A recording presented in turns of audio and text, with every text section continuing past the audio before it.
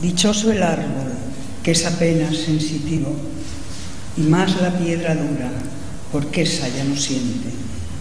pues no hay dolor más grande que el dolor de ser vivo, ni mayor pesadumbre que la vida consciente. Ser y no saber nada, y ser sin rumbo cierto, y el temor de haber sido y un futuro terror, y el espanto seguro de estar mañana muerto y sufrir por la vida y por la sombra y por lo que no conocemos y apenas sospechamos, y la carne que tienta con sus frescos racimos,